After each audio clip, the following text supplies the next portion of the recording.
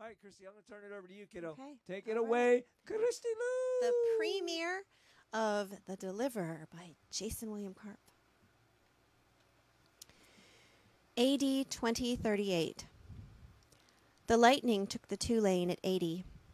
Upgrades over the years had kept the pickup ahead of most threats, like the sway bars that belied its bulk in the turns.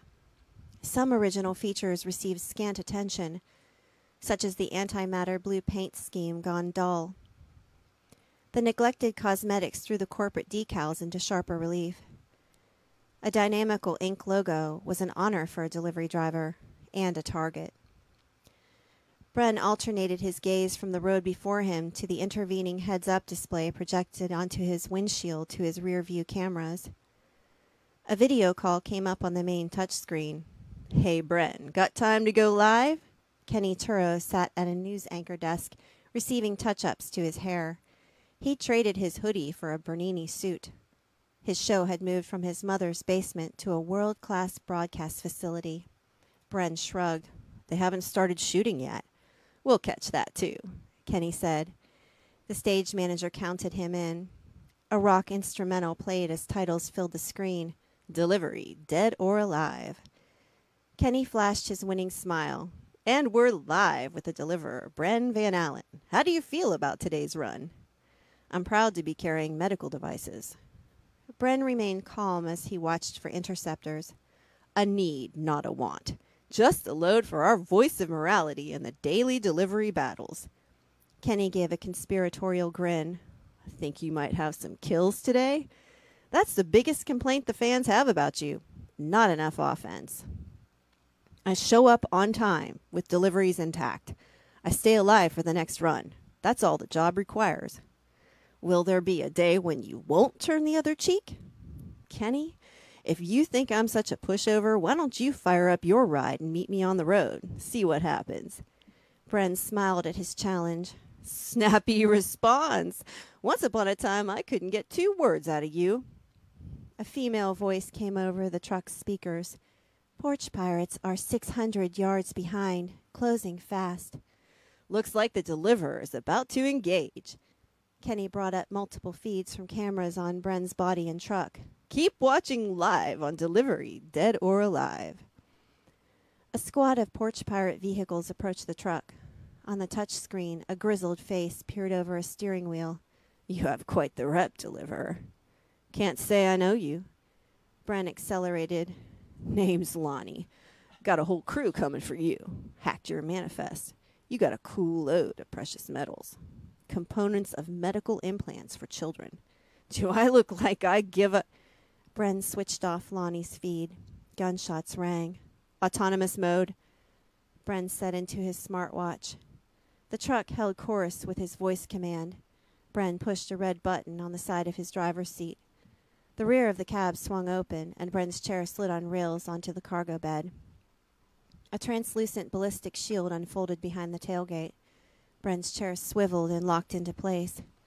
The Barrett sat atop a carbon fiber armature. Bren poked the muzzle through the gun port in the shield.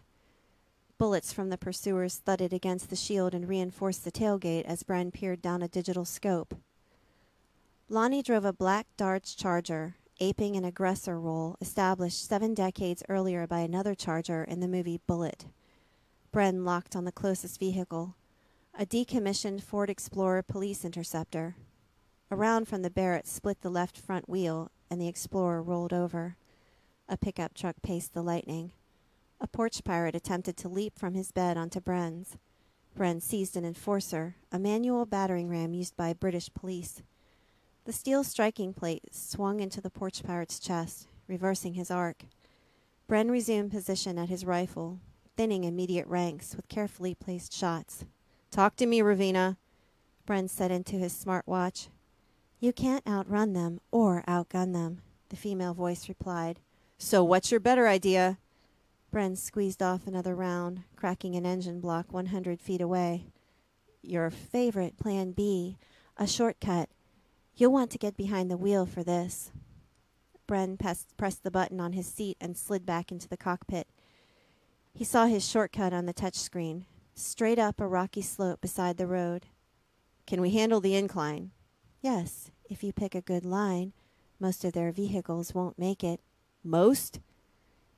Bren veered off the road and slowed, allowing the Lightning to slip into four wheel drive high. Porch Pirate rounds grazed the bulletproof rear window as the truck climbed the slope. A boulder scraped under the charger, lifting the rear wheels off the ground. Cursing, Lonnie jumped out and continued firing at the Lightning. The truck switched to four wheel drive low as the rockfall steepened. A suburban lacking the Lightning's upgrades and a driver with Bren's technique slid sideways before tumbling to the bottom, taking out a porch pirate jeep. Sparky, it's up to you, Lonnie said. I got him, Sparky said. A Baja bug bounded up the rocks, a V6 howling in its elongated tail.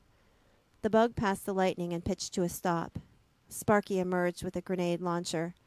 Excited to score the kill, the young porch pirate fired. Bren dodged explosions but surrendered his line. The lightning's wheels spun. He's slipping. Stay on him, Lonnie said to his crew. Bren tapped icons on a secondary system. The front winch activated, shooting a harpoon attached to the steel cable. The harpoon pierced the bug's hood and embedded in the skid plate. The winch turned, yanking the car off its wheels and sending Sparky flying. The enemy vehicle wedged into a rocky cleft, anchoring the cable. The Lightning's wheels turned diagonally in crab mode, mode and regained momentum. The harpoon disconnected, the winch line rewinding. The lightning disappeared over the top. Moments later, boulders rumbled toward the remaining porch pirates. Lonnie called a retreat, his squad decimated. Sparky stumbled down the hill. He wrecked my bug, Sparky said. You know how long it took to build. We've all lost a ride we loved. Lonnie put a hand on Sparky's shoulder. Welcome to porch pirate life. Nice Hello. work. Nice work. Nice work. Thank you. Thank you. I see Mr. Jason William Karpf is here with us. Yeah, let's bring him on. Hang on. Let me see if I can. Jason, can you hear us? Yes, I can.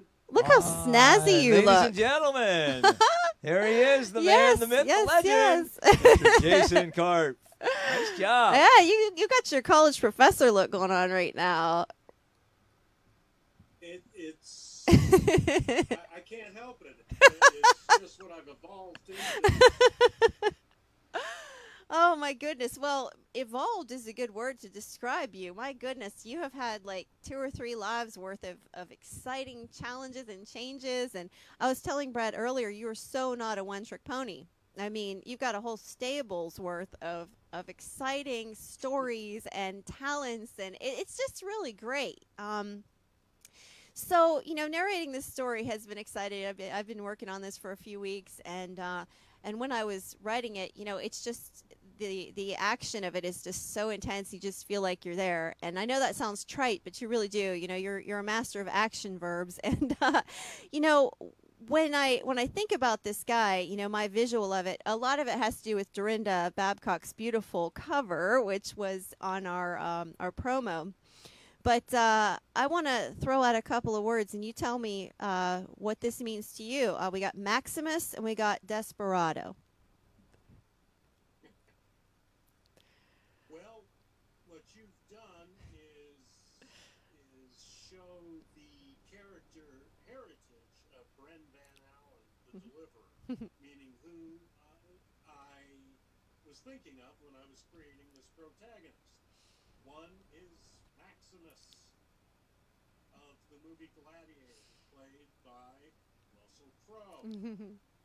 Academy Award winning performance. And the other persona that um, came to mind with Brand is Desperado by the Eagles. It's a song, but the character is so real. The cowboy out riding fences, and the key line there you're losing all your highs and lows. Ain't it funny how the feeling goes away? And you put those two together and you put it in the year 2038 and you have the deliverer and you got your idea for this book from um, a rather unconventional source. You want to elaborate on that? Yes. Um, in reading the news, which I do, oh, let's put it gently, quite a bit. always, always been um, a fan of the news ever since I was little. And I read a fascinating and sad story about Amazon contract drivers being graded and fired by AI programs. And it um, immediately sparked something. And I said, Oh, welcome to the future.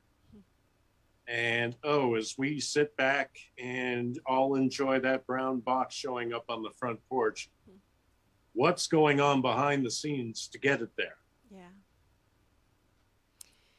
And uh, and so that yeah. was the that was the beginning. and uh, you intensified the definition of porch pirates a little bit. Yes. um, in the year 2028, delivery drivers like Bren Van Allen are armed. Porch pirates are still up to their tricks, but they're armed too. And they're not waiting for it to hit the porch, they're intercepting in hijack mode. And that is the world of the deliverer. And you uh, said that your writing fits into a subgenre called high hard sci-fi. Um, you want to explain that a little bit? Absolutely. Mhm. Um, I write Christian sci fi. And within that, um, I um, am a fan and a writer of a particular brand of science fiction known as hard sci fi. Very tech heavy, very hardware intensive. And I work hard to come up with um, plausible science behind the things I write about. I don't have anyone snapping their fingers and going across the galaxy. If they're going to cross the galaxy, we're going to explain how they're going to do it. And um, it may not be as easy as all that. So, um, the great um, hard sci fi writers of the past, um, um, people like um, Arthur C. Clarke, who himself was a scientist, you can really tell that detail. And it is it is a, a variant of science fiction, and it's always been my favorite and what I aspire to write. Well, you know, I was I was privileged to narrate uh, Basilica Obscura for Wonders of the Galaxy, and um, you know what I was very much struck by that was how tech heavy it was, how um, academic all the uh, discussion of the basilica and all the um, architectural details, and also how you were not afraid to shy away from some pretty intense um, topics. And uh, you know, when I read the opening scene, I I was scared. I really was. I didn't know what was going to happen to these wonderful girls, and uh, you know, you turned it around with with a, a wonderful character. Um, but but it was a great retelling of the parable of the uh, the vineyard workers. And I was struck though it was very different from all the other stories that I narrated, and I can tell that that hard sci-fi. I can tell that you're, you know, you're you're on a different slant, and it's exciting because I'd never been exposed to that before. Um, you know, Oh, we thank well, thank you, and and in turn, your um, your audiobook reading of Basilica Obscura reinvented the story for me. Oh, thank you. so it is such a wonderful art form and a wonderful way for book lovers to um, enjoy their books, as we know. So thank you, thank you Oh. both for that that marvelous work you did. Thank Yes, you. even Basilica Obscura, which um, I'm very proud to say has been nominated for a Realm Award from Yes. Realm Makers, the Society of Christian Science Fiction Mhm. Fantasy Writers. It takes place a half millennium from now, Yes. And it takes place on a massive spaceship bigger than Rhode Island, Yep. a bioship Mm-hmm. made of synthetic living material that constantly regenerates itself using an EM drive, EM, and taking in dark matter as it, as it, it- the, the fuel it consumes to to push the EM drive. this is all theoretical. Mhm. Nothing like this exists. Mhm. But I still wanted to be authentic for the technology and the society presented. You made me believe it was real. Well, gosh, you did. well, let's just fire up our EM drive and off we go. Thank you. Oh my goodness. And and and I'll tell you what, the um the mothership, she she kind of gave me the willies a little bit. I was I was glad that that the people ended up running the show by the end of the book. by the end of the it's a novelette, Ah, right? well, this is a common theme in science fiction. We, Yeah. we hand off too much to the machines. Yep. Yep. And um, I did not originate that trope, but I ran with it. And, very and I- effectively. You know, a mother is the mothership. And that's also a nod for all my Mhm. fellow um, fans, geeks, whatever you want to call ourselves, to the movie Alien. Yeah. The, the controlling computer was called Mother hmm and acted anything but motherly. Yeah, yeah. The uh, I remember I forget what, what the exact line, but it was something like, you know, I only want the very best for my children. Oh boy, do I love that voice. And and she passed up planet after planet, places where they could live, but no, she she wanted Oh, the yeah. very best, and it's like you're letting these people die. it was very absolutely, spooky stuff. absolutely. That's also one as as you get into the story, one of the per- perils of building a ship that's that's a, a, a- an artificial organism, Mhm. even one that's as gigantic as this ship carrying the remnant of humanity across the stars. yeah. And all of that, and you'll see it in the Deliverer too, ties into themes that are very important to me, and that is Christianity along with science fiction. Mhm. And that is my ministry and my great passion.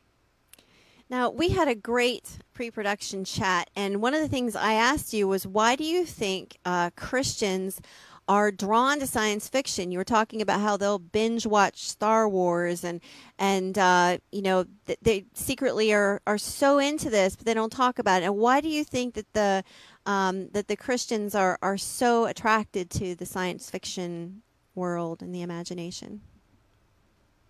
We've got the, well, to start with, we've got the ultimate fantastic story, the Holy Bible. Yeah. All true.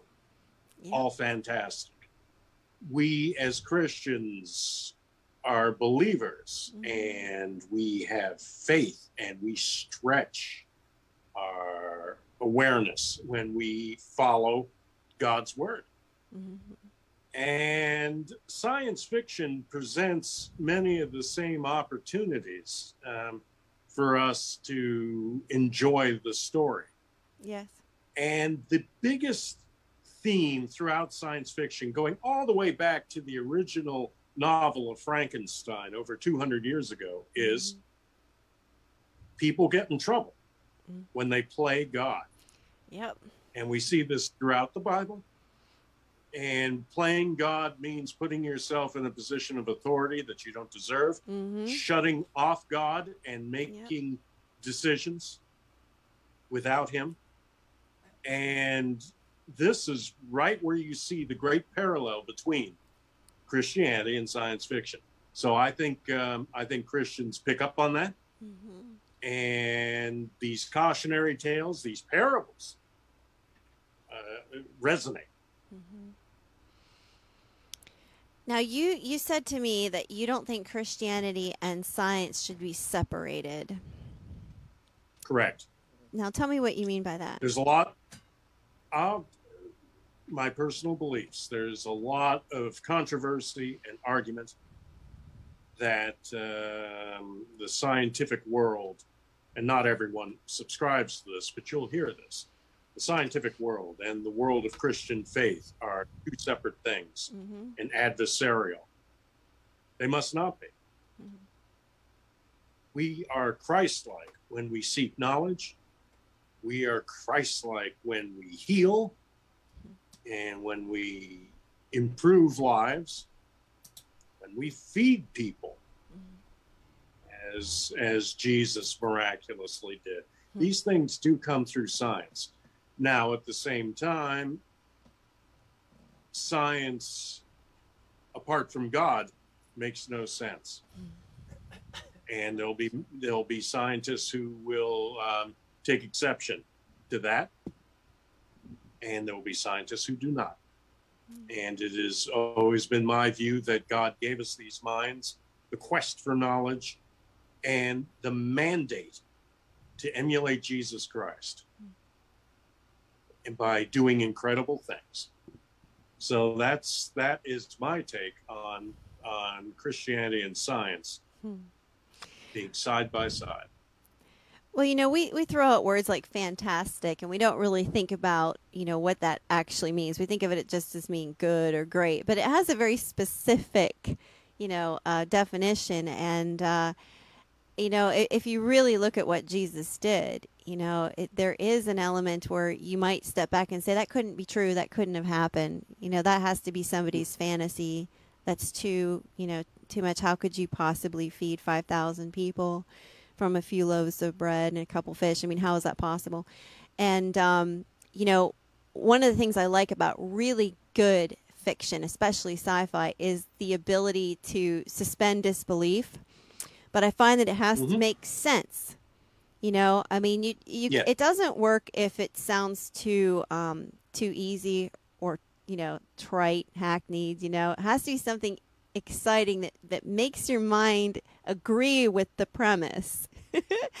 and Mhm. that's one of the things I really like about venturing because I'm not a sci-fi reader. I've never read a sci-fi book until I started doing the narration for Wonders of the Galaxy, and it just opened my mind to a whole different possibility and the creative retelling. But I think there is a lot to be said for the, the, the dichotomy between the, the scientific world and the and the Christian world, and people are afraid to let those intersect. And uh, and Mhm. it's it's interesting to have your take on it. And um, you know, you you do this um, not only in your writing, but you do this through your teaching. And I, I was wondering, you know, if you would want to talk a little bit about um, Christian sci-fi with Professor K. I have a um, study course that I do. I live in Minnesota at churches and Mhm. schools, and it's called Christian Sci-Fi Night with Professor K. Yes, I am Professor K. I teach.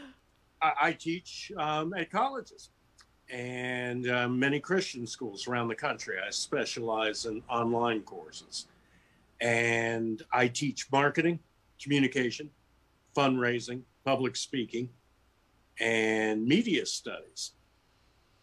And I write and love science fiction. Mhm. So in this um, in this live course, we um, we watch um, episodes of classic and contemporary science fiction, Twilight Zone, uh, original Star Trek, a few things from the um, Star Wars canon as as it is expanded um, greatly on on streaming media Mhm. and then we we talk about it as christians and we don't sacrifice anything we do not sacrifice our enjoyment Mhm. of these stories of the fantastic and we do not sacrifice our faith and our status as christians and i it is my ministry to show again these things coming together Mhm. that as christians we're not supposed to say thou shalt not Mhm.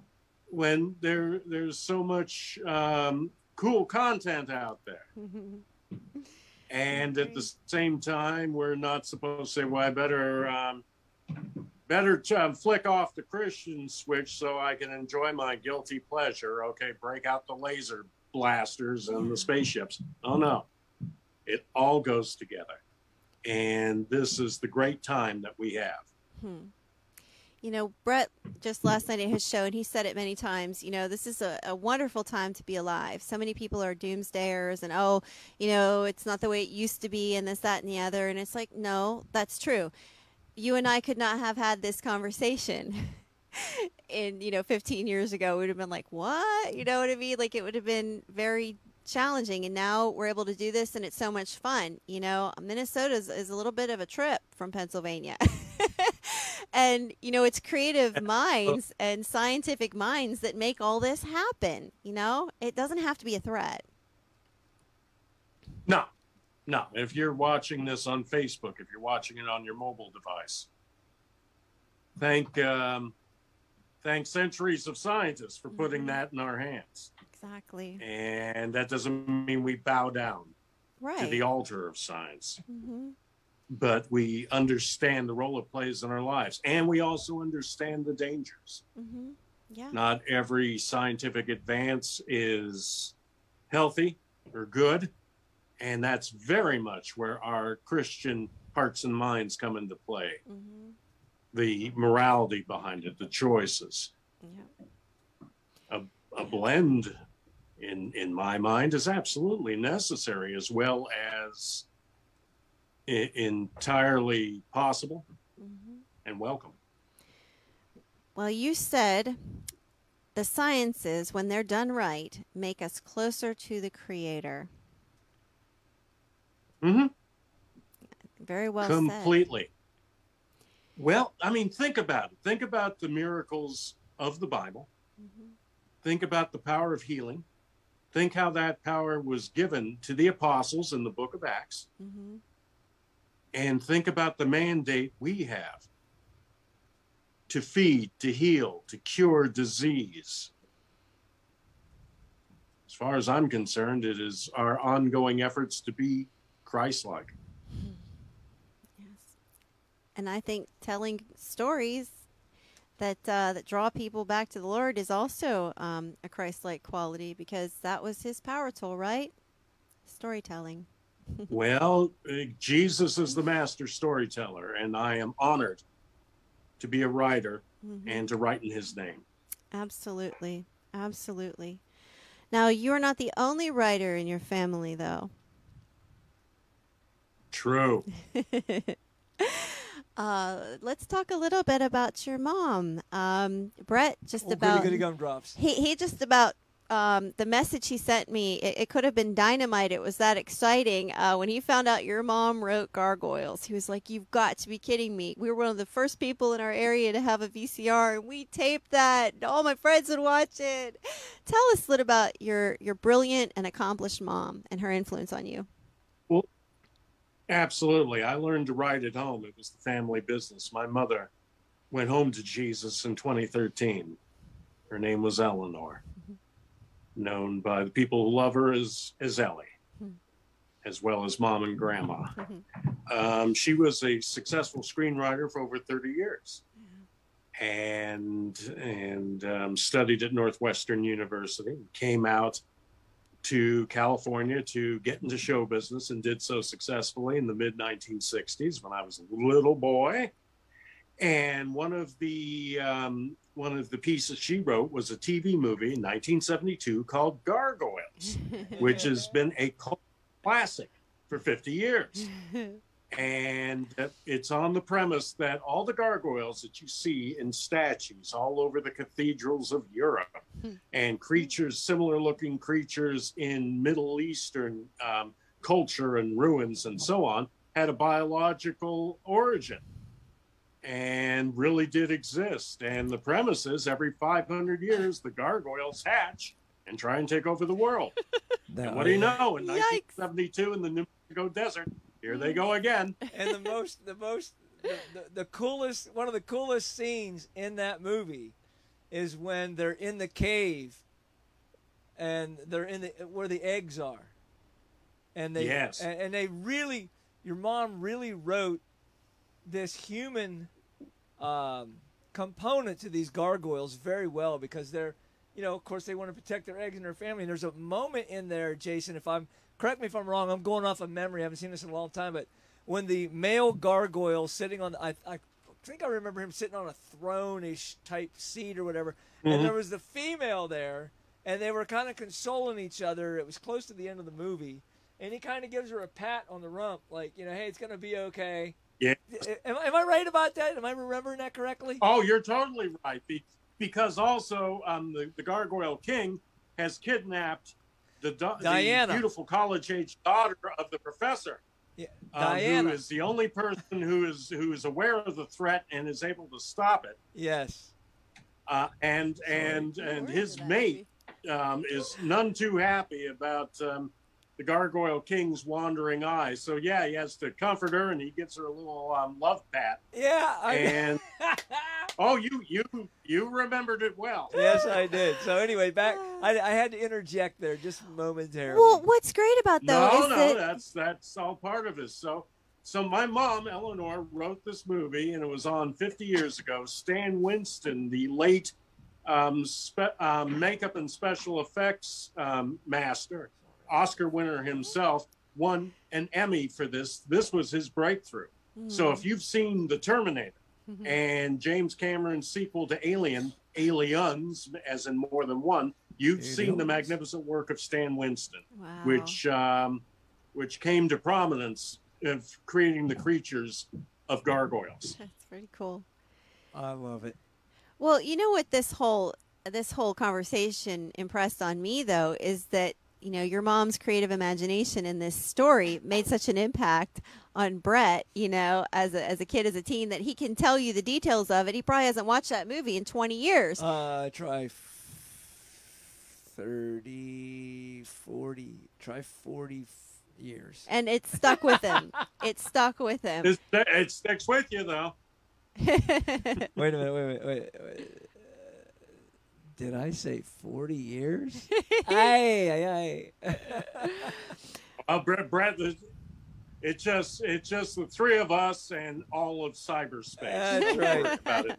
I, I, I'm not bashful about it at all. I love being where I'm at in life. well, you You know, got it.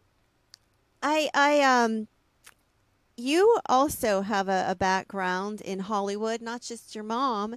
And uh, Bill Bixby played a role in your childhood. I'd love to hear you talk a little bit about that. Oh, ano- another um, another great talent who's no longer with us. Yeah. The first thing I, I grew up in the entertainment industry, obviously, is um, you know talking about my mom, the screenwriter, and the first thing I did in um, in in in, um, in in show business, I was a kid actor, and this is going back 50 years when I was a kid. Speaking of which, Brad, Yeah, I got you, man. I got Um, you. I'm hearing you. yeah, okay, let's oh, let's all go down memory lane. Let's go down there. And, and one of the- We don't Well, have to throw around go. numbers. I, and I guest starred on um, the courtship of Eddie's father, which Bill Bixby started, I and love he that show, directed too. the episode. It was wonderful, wonderful show, and wonderful people involved. And Bill Bixby directed the episode I was in, and he was a marvelous director. Hmm. Because when it comes to acting, and you're a kid, you're doing something at the level of an adult. I mean, you're mm-hmm. playing kids and you know and that sort of thing, but you're going to work, mm-hmm. and there is responsibility and pressure on you, and and most children don't do that. And um, but if you're an actor and you're young, you're right in it. And the director, uh, when you're directing kids, has to be so exact to get the performance, but make that child feel safe and comfortable. Even if it's, you know, an, an action um, uh, movie or show um, like Bonanza that I was also on. That was pretty heavy duty. There were people shooting and stalking, and, you know, so, um, you know, you can be a kid in, in a pretty heavy story. But Courtship of Eddie's Father, um, a comedy, and Bill Bixby was such a great director. He made me feel safe, and he showed me how to give the performance that he saw using my tools as a young actor. And it was it was an experience I'll remember always. So a great talent in front of and behind the camera was Bill Bixby. Bill Bixby.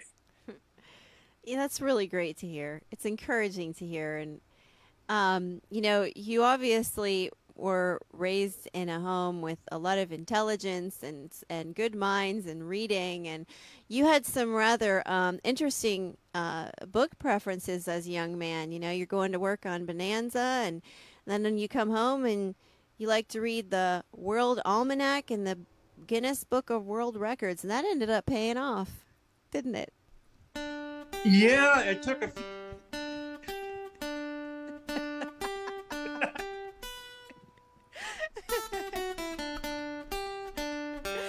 Feel free to continue, Jason. Please answer in the form of a question. Thank you. It's my favorite thing to play. Now that everyone sing along. Not, not, not that I know Star Wars. Yes, that was the theme song to Jeopardy, and uh, Jeopardy was a milestone for me in the year 2000. I was blessed to be on it, and um, and I won four times. I was on the show um, for the full five show cycle that you could do as pre Ken Jennings. I won four times. And what got me there was back in the Bonanza days, my favorite books were the World Almanac and the Guinness Book of World Records. I just loved poring over the minutia. I loved knowing what was the tallest building, the biggest dam, the longest bridge, and going into the um, concentrated um, history sections of the World Almanac. And yeah, I was that kid, okay? Guilty. I was, yeah, yeah, yeah, I was him. Um, but uh, many years later, people always said, "Well, why don't you go on Jeopardy?" And I, you know, um, I mean, I remember Jeopardy from when Art Fleming was the host. Again, we're, yeah, once again, we're on memory lane. We're not getting off anytime soon. And then, of course, the wonderful with the late Alex Trebek. And finally, I ran out of excuses and I tried out, and I got on and it was another life changing moment. but there was something, there was a certain category that uh, kind of catapulted you into uh, prominence on that and success on that, and it had nothing to do with the Guinness Book of World Records, did it? No, no, it, it, it part of misspent youth. They should have that. Listen up, Brett. misspent youth for two million dollars, please. I mean, really.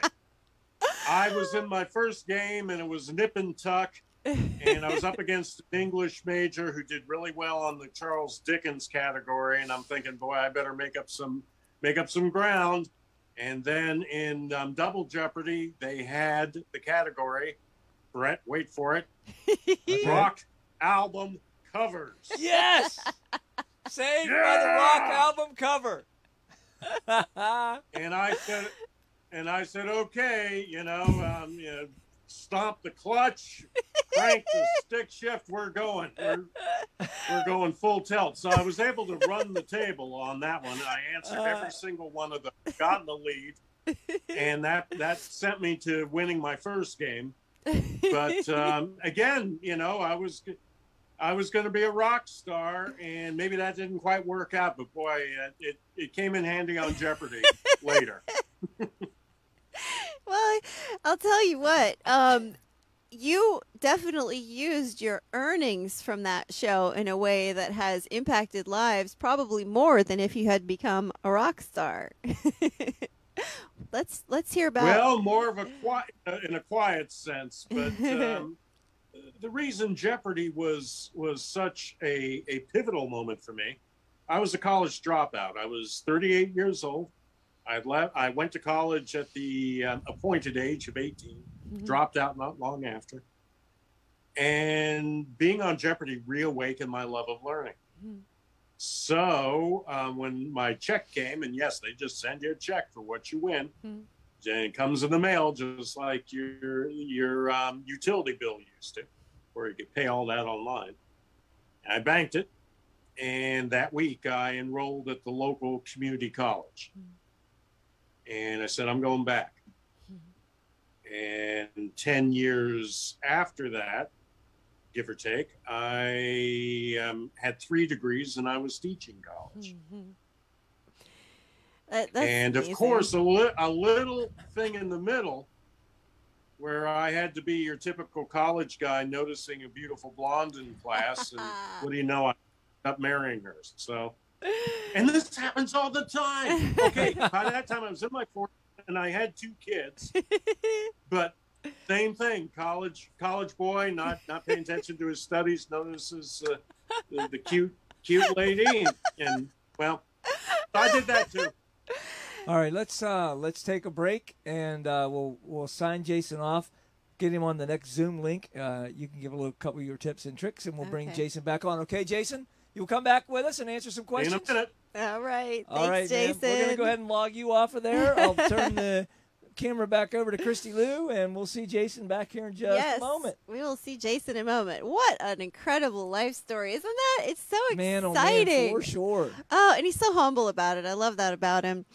Um, okay, so the narrator uh, tips and tricks um, section of the show is on, and I really I have a few things I want to say. One of them, I've just sort of developed a new system, and it's working well for me. Uh, one of the things that I'm always tempted to do is prac- I always practice uh, before I go to the mic, obviously. And when I rehearse, it seems like I'm tempted to read too many pages. And then I find that I'm really not getting anywhere. All I'm figuring out is, oh, well, this is supposed to be whispered, or this is supposed to be murmured, or whatever. But it's it doesn't give me a good sense of the actual um, words because it's so easy to trip over your own tongue, no matter how careful you are. And and it also is very easy for your brain to switch a word or to omit a word, and you don't realize it until you're hearing the recording.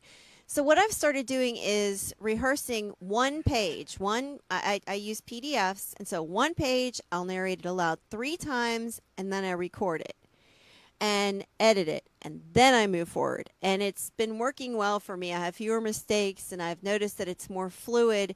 So, um, you know, everybody has their own system, but that's working well for me. You know, read it out loud three times, record one page at a time, edit it, move on. Um, another thing that I think is is important to think about because we have advertised this as something that if you want to get into narrating, you can learn from me, you can learn from the authors. Um, one thing is there's like four sections. There's four parts of narrating, and um, you know the best way that I know to teach you how to narrate is to listen to good audiobooks. You know, really just find them. I'm a big fan of Jim Dale. He's the best in my opinion because he's not just a narrator; he's a vocal actor, and he has developed more voices than uh, than anybody that I know. Who is Jim And, Dale? uh, Who is, uh, some people might not know. Who is Jim Dale? He narrated the Harry Potter series, and he also narrated the Arthur series. Um, I just recently listened to that Arthur and the Minimoys and Arthur and the Forbidden City, and it is a brilliant children's book. And, uh, and really exciting stuff. Um, very creative, extremely creative. But he has this ability to capture the emotion and create voices that's better than anybody I know. And so I'm studying him just by listening. Um, so you know the the four parts though of, of narrating are being able to read smoothly and with a pleasant tone. Uh, the vocal acting, like Jim Dale does, you know, creating voices and really tapping into the emotion. I think that's what separates the pros from the pretenders is the ability to really grab the listener by the gut. Because that's what the author has done, but you have the ability to add another dimension with your voice. Um, and then there's the editing, which is on me, my end of it, fixing stammers, um, mispronunciations, things like that. Um, and, and with the vocal acting, accent work, you know, learning how to do accents. And then the fourth part is the mastering. And that's what Brett does for me, you know, converting files from WAV to MP3, um, tightening up gaps because my cadence might be slightly different from one take to another. And if there's a little, just even just a little millisecond of, of gap, you'll notice that when you're listening. So things like that. But, um, you know, if you're looking for a good education, listen to good audiobooks. And uh, if you are, you know, looking to, you know, to get into this, just start talking to yourself aloud. You know, find a tone because this is my normal speaking voice, but I have learned how to adapt a smoother sound for my narrating voice. And it was just something that I learned by practicing it and doing it, and something that I wanted to be pleasant to the ear. And uh, and so that's something that I've just learned to develop. And if you feel called to do this, if you love storytelling but you're not necessarily a writer, you want to add dimension to stories, you can figure out how to find your own voice too. So those are my narrating tips great. and tricks. That is a really great. I think it's your best tip and trick segment I've seen yet or Thank heard you. yet. Thank you. Awesome stuff, kid. Thank hey, back Appreciate that. Hi, If. Jason. I didn't want to rush you. I didn't mean to do No, that. It's just wanted to let okay. You know. It's okay. Okay, you ready? Ready? Bring, bring. Okay, let's I'm bring ready. Jason back into the Welcome feed. Back, we. Jason, four-time Jeopardy champ, Bonanza child star, worked with Bill Bixby, and he's been married for 16 years to the beautiful blonde Annie that he met in college. Round of applause for Jason and Andy. Annie, sorry, Annie. So, Andy. eh, no, not Andy, sorry, Annie. Um, you said to me, the overall impact of Jeopardy was to show you that you are capable of doing what you thought you couldn't do. See, I don't think he's with us. That. No, I'm. Uh, can you see me? Oh, Yes, yeah, we're yes, good. yes, yeah, yes. Christy's freaking out. We got you. Sorry. All right, all right. Well, let's um, let's um, have at it. Yes, that was the big development of Jeopardy. Was it just it it, it blew up everything I thought about myself, and and remember, I grew up in Hollywood. I had been on television, but the uniqueness of Jeopardy and what it meant to me at that point in my life. And it wasn't about the obvious wins on the show. Wasn't about the money, which has been long spent. it was about having the ability to be surprised with yourself. Mm-hmm. And I took that and I ran with it because I wanted to do more. I went back to school. I found an incredible woman. And she introduced me to the most incredible person of all time, Jesus Christ, all man, all God. And none of these things would I have considered as possible. But it wasn't a matter of considering it or planning it, it was letting go. And I have found that that is so important to the Christian walk. Emptying ourselves, being that vessel for God. And I think it's it's a willingness to to grow also. You you have you have to be ready for more. Mm-hmm. And you can do that in a very positive spirit. Mm-hmm. I mean, granted, we all work on ourselves and say, well, I got to do this or I got to be better at that, but embrace it. Mm-hmm. And um, I went for so many years thinking I had leveled off with life, made my choices, they didn't work out. Here are the consequences. But um, I didn't settle for that, but only after I declared Jesus Lord and Savior did I realize his hand was on that. Mm-hmm. And this is what he teaches all of us. He, he taught us and the apostles being reborn, having our resurrection. Again, like we were saying earlier, being Christ like. Yes.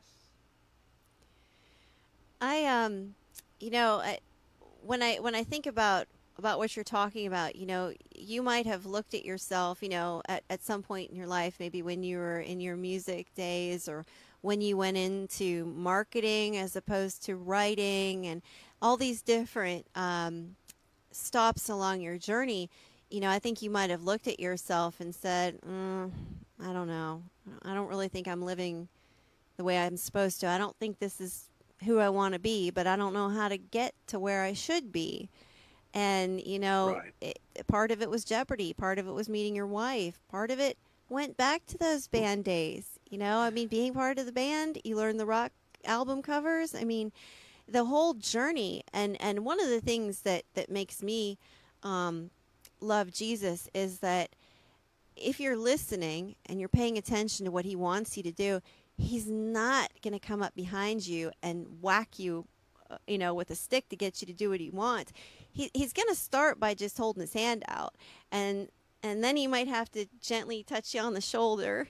But he always Mhm. starts out with the gentle touch, and you know, if you're paying attention, you're willing to grow, and like you said, willing to let go and be empty. He can, you know, use you to influence more and more people and um, and I think that influence is one of the biggest gifts about being a writer, is that you don't know who's going to pick up that book, where or when, and what they're coming to that book with. Because I think everybody who reads, they they want something out of it. Mhm. You know, they're looking, I think, primarily for escape, especially a sci-fi book.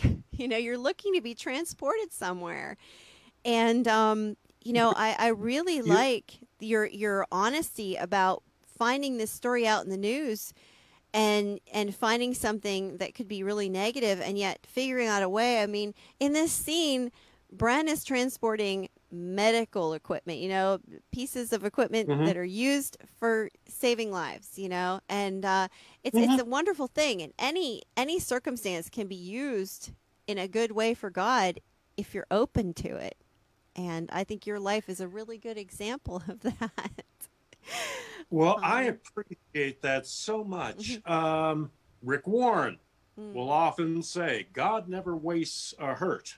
Oh, yeah. So when you think about dead ends, failures, mistakes, hmm there was a reason. Yeah.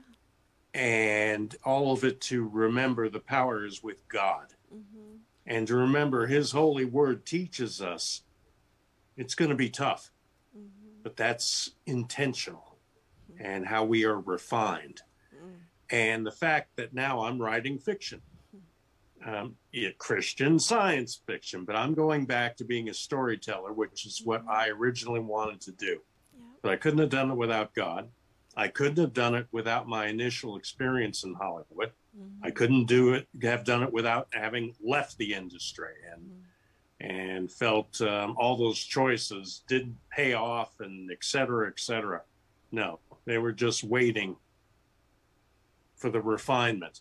And when you come to know Jesus, you come to know that process and you know he is not finished with you yet. Mhm.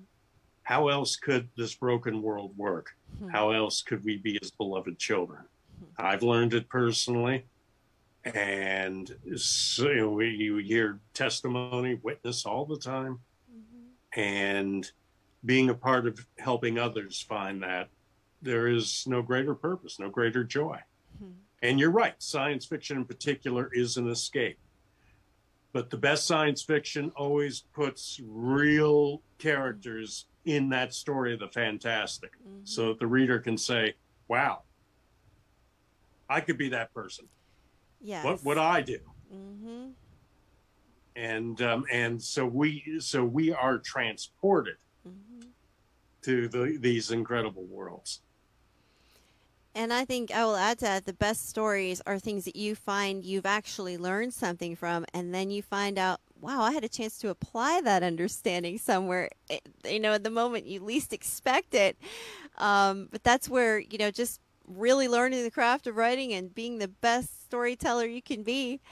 And, you know, you said, I asked you who your audience is, who your target audience is, and you said, it's it's people my age and it's people in their 20s. Um, and I find that Mhm. really interesting. Why do you think it appeal it appeals to such a, a breadth of of, uh, of readers? The the the bridge, Christianity Mhm. and science fiction. Mm, yeah. Um, full disclosure, I'm 60 years old. In case you're wondering about the math and talking about this 50 years ago and everything else, I watched Star Trek TOS, which us cool nerds call it, in the original series. First run with my brilliant sci-fi fan mother in the late 60s. I was on the set of Gargoyles when I was 10 years old. And I love all the old shows and movies, and people my age, give or take, grew up loving it too. Mhm. And I can't tell you all the times, you know, I'm at church or life group, and this was before I started writing. And we would just talk about these great sci-fi stories we grew up with. That's the one one um, target market. Younger people are growing up with the same thing. Star Wars and Star Trek are as big, if not bigger than ever. Yeah. And with the um, streaming media spin offs, they're wonderful to watch.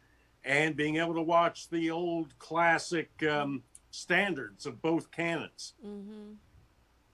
And I can't tell you all the students I've had over the years, and, and we get into the same conversations that I will with all the grandpas in life group. You know, same thing. We're talking about the same stuff we love. and there's a great commonality there. Yeah. So that's why I have the two target markets. Hmm. They have a lot in common. Yeah. well, you know, ideally, a child crawls up in your lap and says, "Tell me a story." And I think that's something that that crosses all age barriers. Um, you know, it's it's it's a it's a beautiful thing for somebody to use their creative imagination and create a world and draw you into it to the point that you're thinking about it when you've put the book down or when you've turned the audiobook off. You're like, what's going to happen to Bren? Is he going to make it? I mean, are these guys going to steal this? What's going to happen to these kids? You know, and and that's a goal, and and that's I'm sure a goal of yours, and uh, and it's something Oh, that yes. um, you know it's exciting, and and this book is is going to be out in just a few weeks, isn't it? Well, I and I'm I'm so proud and so excited, and I want people to put themselves in the world of the deliverer. Bren Van Allen, the top star driver, and all of this battling between the armed drivers and the armed porch pirates. You um, you heard it when Christy Lou read it. Is streamed 24 seven. It is the most popular reality TV show in um, in what's now known as Greater America. In in the world of 2038, America has been torn to pieces, and Bren Van Allen is trying to earn a living while being this this um, 21st century gladiator. He's an evangelist. He has been a, he's a lifelong believer. And as Christians, I want uh, I want um, us all to be able to look at this story and say, how could a good Christian be in the middle of all this madness you're describing? And that's just the point. And if it helps anyone reading, well, I'm I'm a Christian in the middle of my madness, and to get hope from it and realize God is everywhere. And that's why um, Bren drives and evangelizes too, as as this um, as this celebrity across what is now three Americas, three United, uh, ver- three portions of the United States, their own countries, and some independent republics. He wants to get the word out. Using his uh, his ability to influence. I love it. I love it. Yeah, he knows. He knows, and that's how he was drawn into it. Hmm. It's interesting that you would say God is everywhere. Brett and I just had a conversation about We that did, the other night. Yeah. Yeah. And he said that exact thing. And not everybody understands what that means. It's a deeper way, I think, of approaching faith. And it's what we have to remember. And um, like I said, with Christian Sci-Fi Night with Professor K, God is everywhere, including in these cool stories that we don't have. Again, we don't have to flip flip off the Christian switch to enjoy. Mm. No, turn it up, enjoy even mm. more, Yeah. grow. Mm. I think it, I think authenticity is something that some people are afraid to own. You know, they they want to be one person in church and another person after they go home and you know, we, we talked about that. That that's not the way it's supposed to be. You know, we have to be No. Genuine and uh, and that's something Brett and I have talked about a lot too, is being genuine, you know, owning who you are, not being afraid, but I mean in a way though that shows your faith, that shows who you are without feeling like you have to cloak yourself up in in, in holiness, but also, you know, not to be afraid to, you know, to use what you are interested in to reach out to people who may not be interested in Jesus, but they come to see that you're different. And, um, you know, to me, the most non threatening way is just stories. it's just the best. it's the best. Somebody who won't go to church will pick up your book.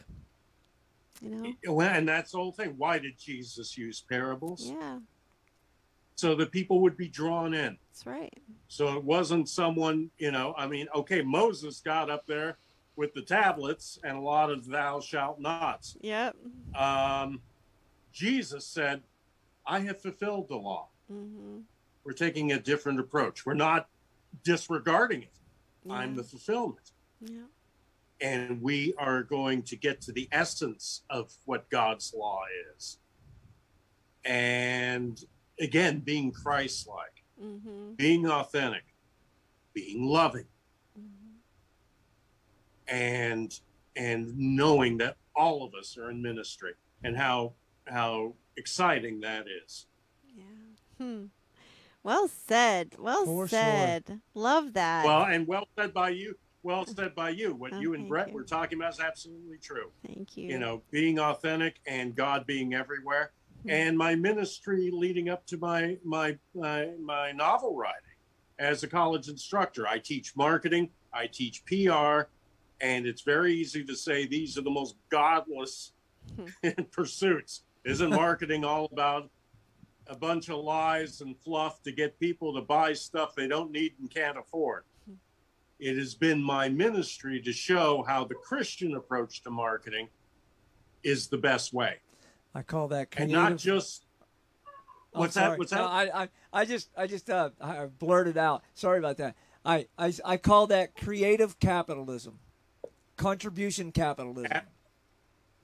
Absolutely. And it is for maximum benefits. so Yes. being a christian market is not a matter of well you're the nice guy you finished last but No, jesus loves you. No no. It is Not about fulfilling needs and delivering value. That's and so i've been teaching right. that for for over 10 years already. And that has been a huge driver for me to write christian sci-fi. Christian? Science fiction? Nah yes just the way christian marketing yes Yeah, you said it was an exchange of value. And if people can just look at it that Mm-hmm. way, as opposed to, you know, trading money for, you know, a good or service, Right. to just look at it as, as exchanging value, I think that's a very eye opening concept for marketing. I like and that when you lot. lift and when you lift up your customers you're going to make more money yeah. You know in the american in, in in in the american capitalist system which is still the best in the world Amen. hundred percent. but you but you you do better by doing better by your customers lifting them up giving them real value protecting Exactly. Which is Make what Brett and others is, is this Good. you know is it uh, go ahead brett I was just going to say uh, one of the one of the golden rules I learned uh, a long time ago when I was going through personal development and studying business and whatnot was, um, you know, if you can make others feel better about their life and themselves when they leave your presence Yeah. than when they first showed up. Um, not only you doing the right thing, you're going to do the thing the thing that lifts all uh, all involved, and you'll never go hungry. In fact, you'll flourish. Yes, yes, you will. So we, by embracing that, it's not a matter of well, again, I better turn off my Christian switch if I want to sell this, make a living, get keep this company in the black. No, turn it up. so I, I love hearing what both of you are saying. Simply put, it's true. well, we've enjoyed talking to you so much, Jason. Do we have any questions? Um, you know, I was going to say we, we. I think you guys, Jason speaks so well and so thoroughly, and you've asked such wonderful questions. We haven't had any yet. I've had it pinned out there for a little while, but uh, hey, guys, we are moving into the uh, Q and A section of the show now. So if you didn't see the pinned comment uh, and you have a question, uh, go ahead and jump in there and ask the question. Now, I do have a couple of comments. I'm going to turn the camera back over to you guys. Um, let me see if I can find these comments. Jason, I have really enjoyed. Oh, wait a minute. Here's one from Dorinda. Of all the publishers, Dorinda? yes, Dorinda Babcock. Of all the publishers you could have signed with, why did you sign with Elk Lake Publishing? Ooh. good one. Ooh. Oh boy, do I I love answering this. Mm. I finished the manuscript in the year 2020. Yes, like a lot of people, I was um, uh, in my bunker during the pandemic writing my novel, my first novel. I found out a lot of people were doing that, and I wanted to hire an editor um, because good editing is you, you enjoy a book you've read, thank the author, thank the editors. It is a team sport. So I knew I wanted to I wanted to hire an editor and then see what would come of the book. Um, and I found um, resources for Christian editors, and I contacted them, you know, to say, here's what I've got. What is your time frame? What are your rates? And there was one um, editing company that I sent the manuscript to, and the lady who owned that company said, You know, I don't have time to edit your book, but here's this. It was a publishing contract for Elk Lake Publishing. The hmm. lady, the owner of the editing company, also the owner of the publishing house, hmm.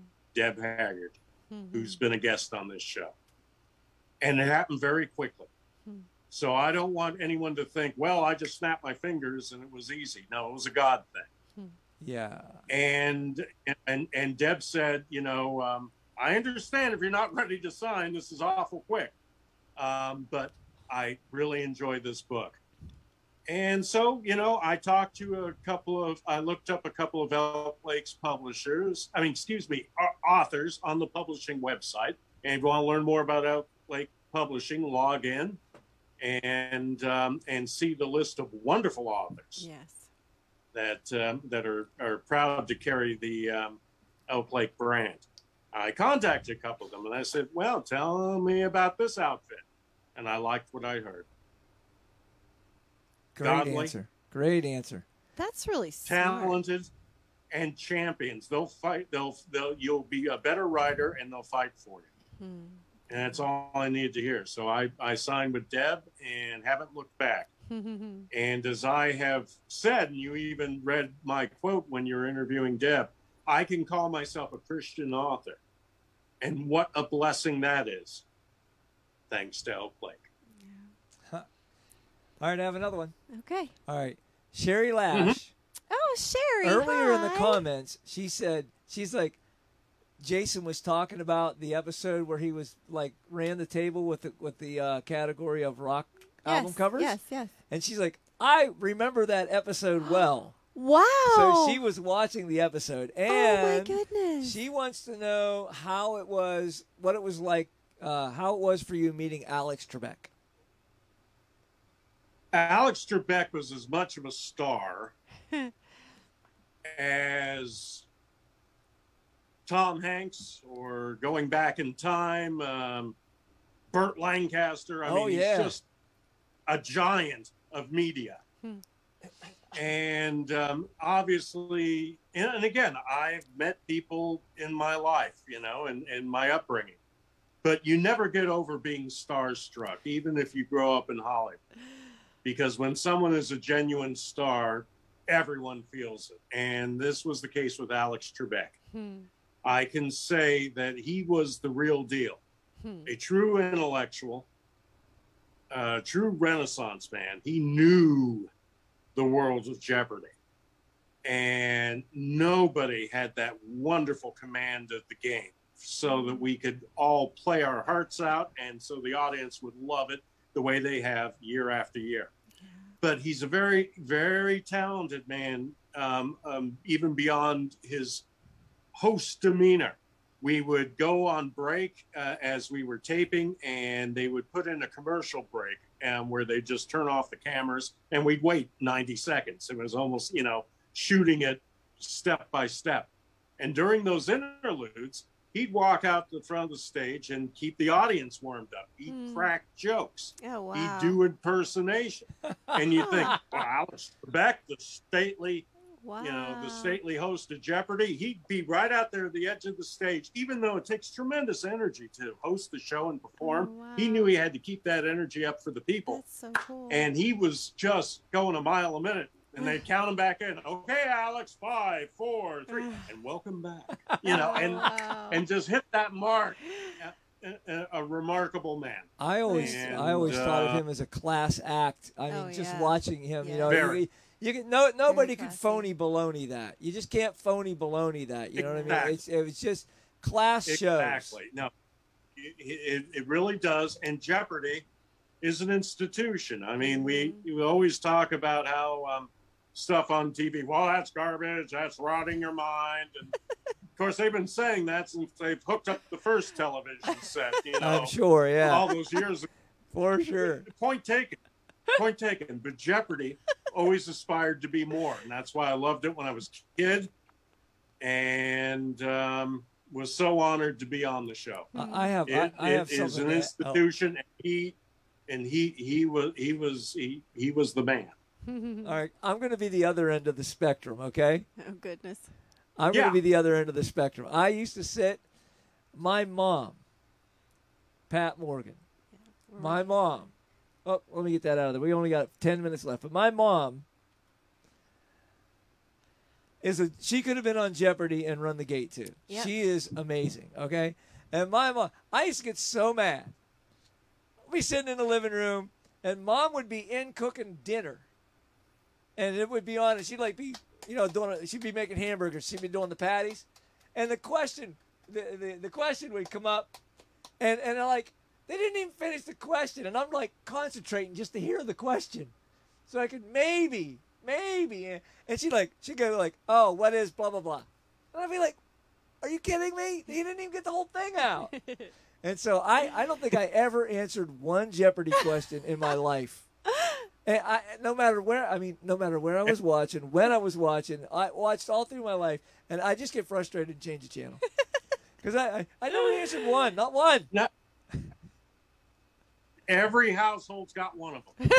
Unfortunately, the people who love me, I was that guy. Yeah, I got I saw in the comments just a minute ago, just a minute ago in our comments, Sherry said um, she was that person at her house too. There's always somebody. Your mom was that person. Yeah, I see that. Yeah, yeah. My mom was. Oh, and, and to, to this day, people won't watch the show with me. You know, I love to sit down every now and again and watch. Uh, and, uh, you know, Annie's like, and she loves the show, but you, Lord help us if I walk as well, here goes this afternoon. You know, you just you can't help yourself. yeah. Well, I tell you, if I knew all, the, if I knew all the answers, I'd be like, I'd be bowling everybody over. Yeah, I got this. I got this one. I got this. Oh, hey, we've man. only Yeah, got a couple know. of minutes left. Um, we're gonna run out of Zoom time. And we're gonna run out of Facebook Okay. time, and we're gonna run out. Of, Jason, we Thank could you. we could sit here, we could sit here and talk to you all night, and we, We may could. just do that sometime. just just do a Zoom. I think we'll Zoom? work that out one way or another. Yeah, I think we could just do I- a I tell Zoom you- marathon. Oh, oh, better than that, I'm coming out to Pennsylvania. You're gonna hear me banging on the bar door. I'm gonna have my bass with Oh, me. and bring yes, bring the Mark bass my with words. you. Yes, indeed, bring the bass with you, and uh, we will with do. jam session, our wives there. It's gonna be great. It's gonna be awesome. gonna be awesome, sir. Heck, Absolutely. He's he's got a. Well, God bless you. God bless you both. Thank Oh. you for having me on. thank you. It was a and real pleasure. thank you for the ongoing showcase for my home as an author, Elk mm-hmm. Lake Publishing, mm-hmm. a, a godly, independent Christian publisher that's doing great things, and I am so proud to be part of it. Hmm. Awesome. All right, buddy. We'll see you Thank you, next Jason. time. Continued success to you and your family, Yes. and uh, we'll be in touch soon. I'm sure. Uh, I am sure of that. You bet. Thanks, All right, Well, We'll- Very best to both of you. Thank God you. bless. God bless. Bye-bye now. Bye-bye.